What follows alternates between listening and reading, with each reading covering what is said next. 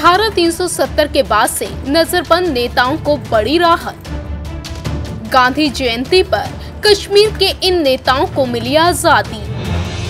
2 अक्टूबर को जहाँ पूरा देश राष्ट्रपिता महात्मा गांधी की 150वीं और पूर्व पीएम लाल बहादुर शास्त्री की 116वीं जयंती मना रहा था, वहीं जम्मू कश्मीर के उन नेताओं को उस वक्त बड़ी राहत मिली जब प्रशासन ने उन्हें रिहा कर दिया। हालाँकि बावजूद इसके कश्मीर घाटी के बड़े नेता अभी भी नजरबंद हैं। दरअसल गांधी जी की जयंती के अवसर पर जम्मू कश्मीर प्रशासन ने जम्मू में कुछ नेताओं की नजरबंदी खत्म कर दी है। धारा 370 हटाने के बाद स्थानीय पुलिस ने एहतियात के तौर पर जम्मू के इन नेताओं को नजरबंद किया था।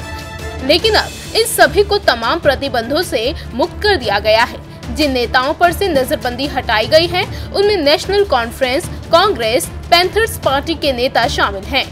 डोगरा स्वाभिमान संगठन पार्टी के अध्यक्ष चौधरी लाल सिंह के अलावा जिन नेताओं से नजरबंदी हटाई गई है, उनमें नेशनल कॉन्फ्रेंस के देवेंद्र राणा और एस एस सालाथिया, कांग्रेस के रमन भल्ला और पैंथर्स पार्टी के हर्षदेव सिंह के नाम शामिल हैं।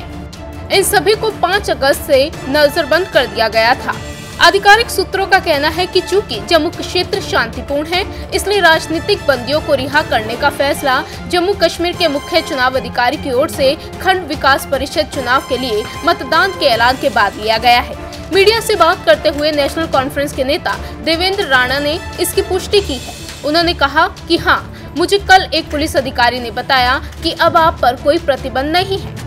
हालाँकि प्रदेश के तीन पूर्व सीएम फारूक अब्दुल्ला, उमर अब्दुल्ला और महबूबा मुफ्ती की नजरबंदी खत्म नहीं की गई।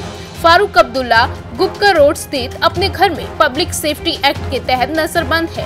उनको लोगों से मिलने की इजाज़त तो नहीं है, लेकिन परिवार के लोगों से वो मिल सकते हैं। इसी तरह उमर अब्दुल्ला को हरी निवास में और महबूबा मुफ्ती को चश्मा शाही गेस्ट हाउस में नजरबंद किया गया है। इन दोनों को लोगों से मिलने से मना कर दिया गया है। इसी बीच मीडिया रिपोर्ट्स में सूत्रों के हवाले से कहा गया है कि आने वाले कुछ दिनों में पीएसए एक्ट कई बड़े और रसूखदार लोगों पर लगाया जा सकता है।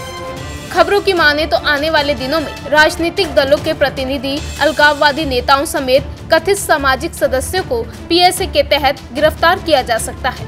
खबर है कि जल्द ही 350 से ज़्यादा लोग इस एक्ट के दायरे में आ सकते हैं। इंडिया न्यूज़ भारत की रिपोर्ट।